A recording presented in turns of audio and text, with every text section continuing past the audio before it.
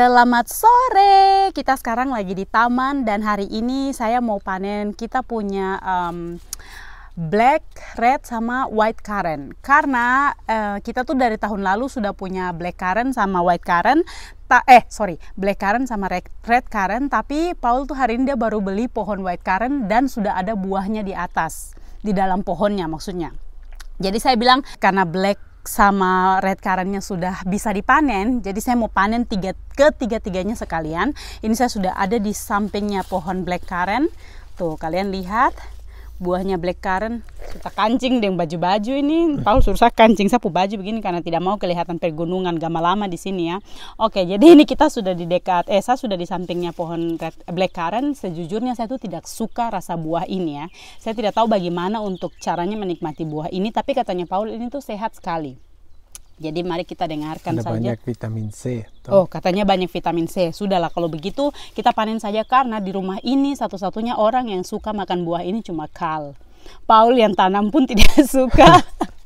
Elena tidak suka, saya apalagi saya lebih tidak suka lagi. Oke, kita langsung saja petik-petik. Paul bisa close up mungkin. Tuh, kita langsung saja. Tak. Bagus ya. Pokoknya kita ambil yang sudah besar-besar saja ya, yang masih-masih kecil tuh kasih kita kasih tinggal dia bertumbuh dan berkembang dulu ya. Tuh.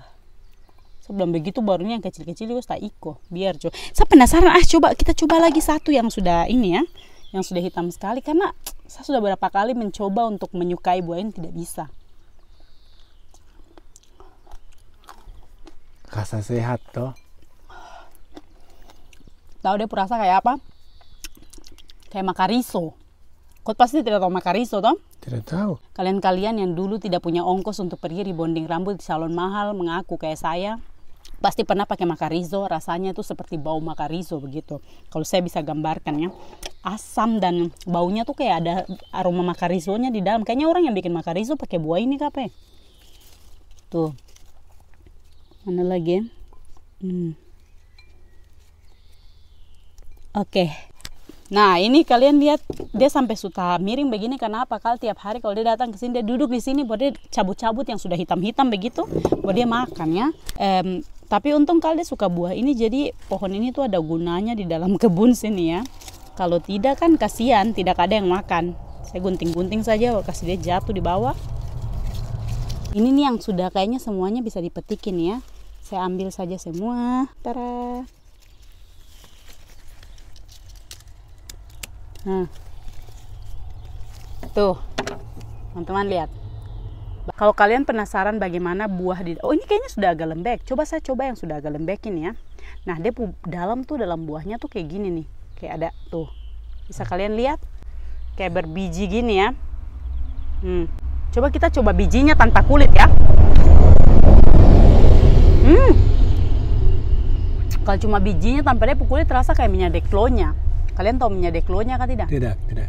Kan biasanya kalau orang meninggal baru Iya betul di kita Papua tuh begitu. Kalau sebelum kasih masuk di peti itu kita kasih minyak deklonya supaya harum. Mungkin orang Toraja bikin begitu eh. Hmm, tidak bisa tidak bisa milik Yuk, sekarang kita mau pindah ke red currant. Let's go.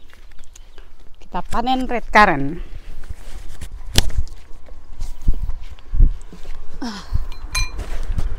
Kayaknya saya harus bikin begini deh. Begini nih. Nah, gini sudah ah, yang tahu macam-macam. Sudah. Jadi ini pokoknya kalian hiraukan saja ini yang penampakan Kalau macam-macam nih. Karena malas ganti baju tuh. Ih, bukan malas ganti baju, sebenarnya tidak terlalu kelihatan juga.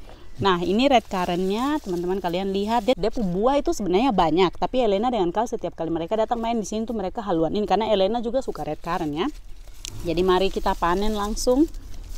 Tuh. Teman-teman bisa lihat sini. Paul mungkin bisa dekat-dekat. Uh. Saya kasih begini saja. Ini pindah. Eh, Oke, kita petik. Sak. Lagi, aduh terlalu ribet kalau terlalu ribet kalau kita mau bikin begitu ya. Jadi saya petik-petik saja begini. Nanti saya kasih lihat kalian hasilnya tuh seperti apa. Saya pu yang saya petik-petik di dalam rawa eh rawa-rawa lagi rumput-rumput ini. Tuh.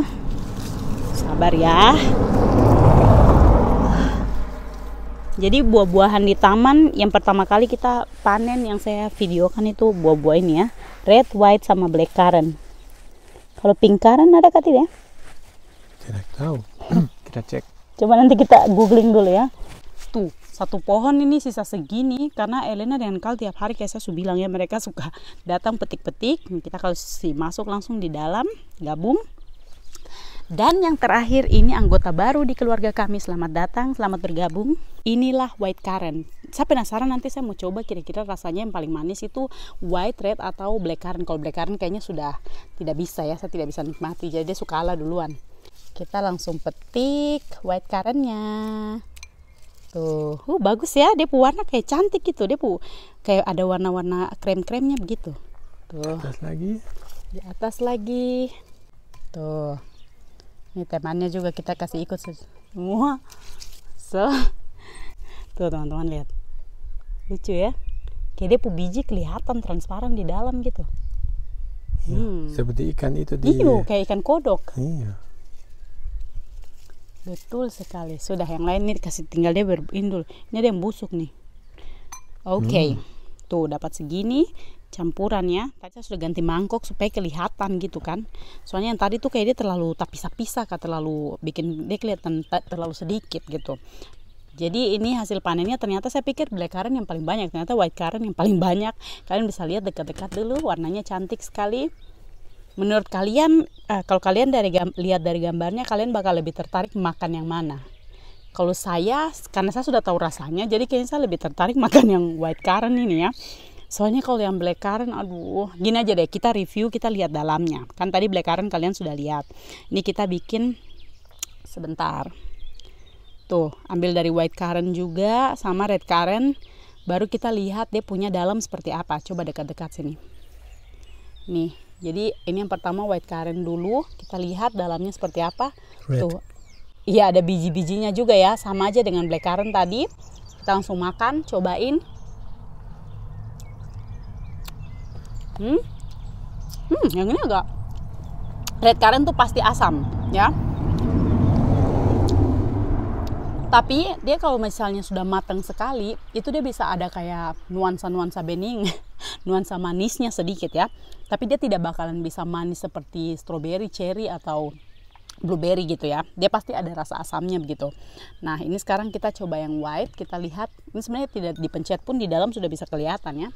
Tuh, kalau saya pencet, kita lihat dalamnya kayak gimana. Punya daging buah kayak jelly gitu, terus ada biji-bijinya juga.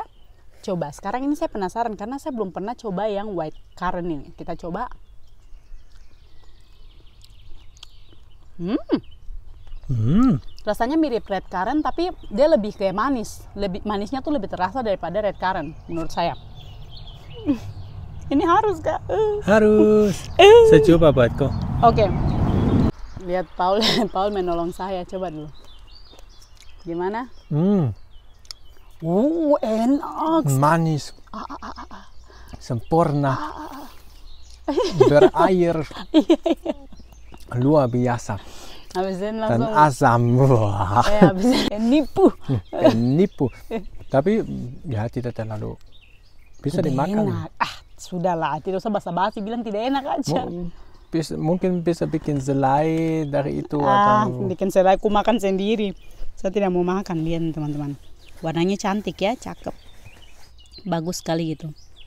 Kita coba makan kayak makan apa nih ya yang kita coba ya. Kalau kita gabung tuh kira-kira rasanya bagaimana? Penasaran Eka?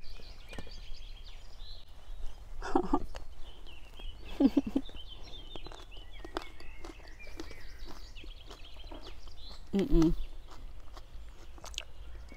Kalau black tidak ikutan kayaknya enak sih. Hmm.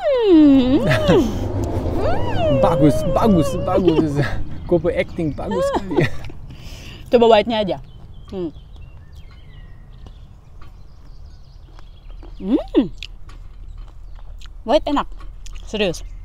Tipu Hmm, Kal terus, pasti bakalan tipu suka. terus dia. Ini nih.